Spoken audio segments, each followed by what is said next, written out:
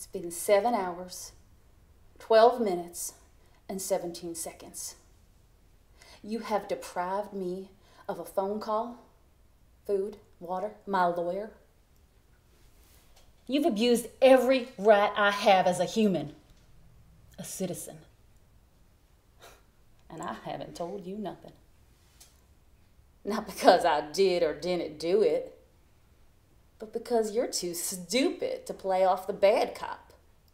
Yeah. Every time you mention DNA evidence, your left eye twitches. And when you mention jail time, well, you shift in your seat a little and you start tapping that pen. Yeah. Hmm. At the very least, I thought you'd get some handsome, cheesy looking cop with some 70 stash in here to pretend he's the good cop. Make me think he's on my side. Instead, you leave